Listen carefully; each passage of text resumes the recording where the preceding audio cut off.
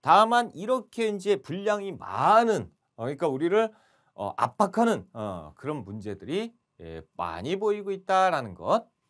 자, 그런데 이렇게 이제 양이 많아서 그렇지 실질적으로 내용을 판단하다 보면 그렇게 어렵지만은 않았던 문제가 많아요. 자, 가에서 라를 일어난 순서대로 순서 맞추기입니다. 그렇죠? 가번 좌의증 어, 박은희 상황에게 아래기를 이제 외구가 중국에 도, 들어가 도적질하고 본도로 돌아오는 것이 이때니까 마땅히 이종무 등으로 대나도에 가서 대마도에 가서 저기 이렇게 됐을 때 우리가 치면 이길 수 있을 것이다 라고 하니까 상왕이 어, 그렇구나 라고 얘기를 한 거죠. 그래서 군대를 보내서 대마도를 정벌했던 세종 때 상황은 누구예요? 태종 이방원이죠. 어, 이방원이 당시에 군사권과 인사권을 갖고 있었기 때문에 이종무에게 군사를 에, 보내게 되는 거지요.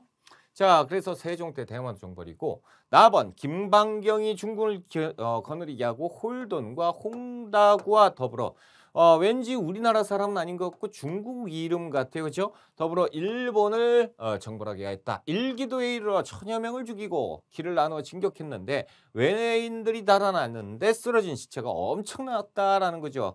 날이 저물어서 이내 공격을 늦췄는데 마침 태풍이 불어서 어, 잘 안 됐다라는 거죠. 그래서 몽항군. 그러니까 이 당시에 우리가 고려 시대의 원나라 그러니까 이제 몽골과 화친을 하고 그리고 나서 정동행성을 만들고 그리고 나서 이 그 일본 원정을 보냈는데 두 차례 다 태풍 때문에 예, 성공하지 못했다라는 거죠. 그래서 이것은 이제 일본 원정 가는 그런 모습을 보여주고 있고 고려 원종 때부터 충렬왕 때 이렇게 보시면 됩니다. 자, 다음은 외구가 500척을 이끌고 진포 입구에 들어와서 외구 얘기 나왔고 진포 얘기 나왔어요. 밧줄로 서로 잡아 병살 지키다 해안에 상륙해서 이렇게 됐다. 그래서 나세, 심덕무, 최무선 이렇게 나왔죠. 그러니까 고려 말 우왕 때 우리가 아, 그 왜구를 토벌했던 그 모습을 보여주고 있죠. 그래서 진포대첩 나와주고요. 자, 라번 외장이 군사 수만을 모두 동원해서 전, 진주성을 포위했는데 성 안의 군사는 3천 명이었고 진주 목사 김시민 등장했어요. 그래서 진주 대첩을 얘기하죠. 이거 언제예요? 이 그 조선 시대에 임진왜란 때를 얘기하고 있죠. 그래서 임진왜란 때 진주 대첩을 얘기하고 있어요.